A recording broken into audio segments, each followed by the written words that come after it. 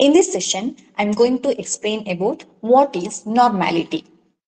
Normality is defined as the number of gram equivalent of solute which are present in 1 liter of the solution. That means in 1 liter of the solution, how many gram equivalent of solute present. It's not about how many moles of solute present. It's about how many gram equivalent of solute in 1 liter of the solution. Usually normality is denoted by capital letter N and uh, this normality can be calculated by using the formula normality N is equal to number of gram equivalent of solute divided by volume of the solution in liter where number of gram equivalent of solute is equal to mass of solute divided by equivalent mass of the solute and we can find out the equivalent mass of the solute by using the formula equivalent mass or the equivalent weight of the solute is equal to molecular weight of the solute divided by n where n is the valency factor. Now let us solve some problem. First problem. If 0.98 gram of sulfuric acid are present in 500 ml solution, find normality. First, write down the formula. Normality N is equal to number of gram equivalent of solute divided by volume of solution in liter. In this problem, the volume of the solution is given, right? How much it is? That is 500 ml.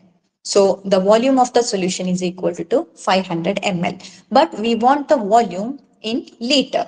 So we have to divide it by 1000. That is 500 divided by 1000 liter. And the answer is 0.5 liter.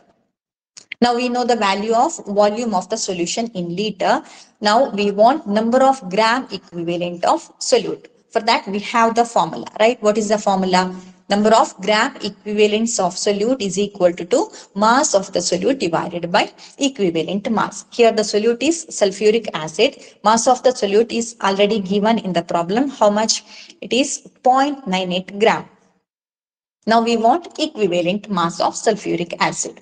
For that we have the formula equivalent mass of sulfuric acid is equal to, to molecular mass of sulfuric acid divided by N. N is the valency factor. First, we have to calculate the molecular mass of sulfuric acid. Molecular mass is, it is atomic mass of uh, hydrogen, that is 1. Here two hydrogen atoms are present, so it is 1 into 2 plus atomic mass of sulfur, that is 32. Here only one sulfur atom is there, hence it is 32 into 1 plus atomic mass of oxygen, that is 16 into here, uh, four oxygen atoms are present, hence it is into 4.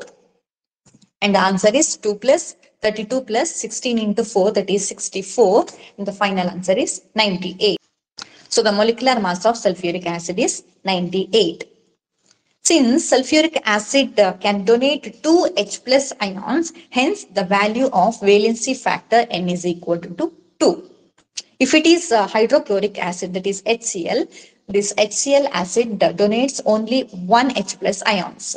So if it is HCl, then the value of N is 1. Here it is sulfuric acid, so the value of N is equal to 2. Substitute these two values to equivalent mass equation. Then the answer is 98 by 2, that is 49.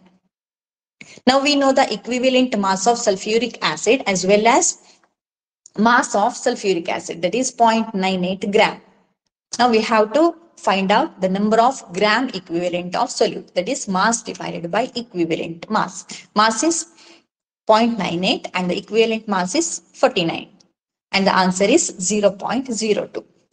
Substitute this value as well as volume of the solution in liter to normality equation.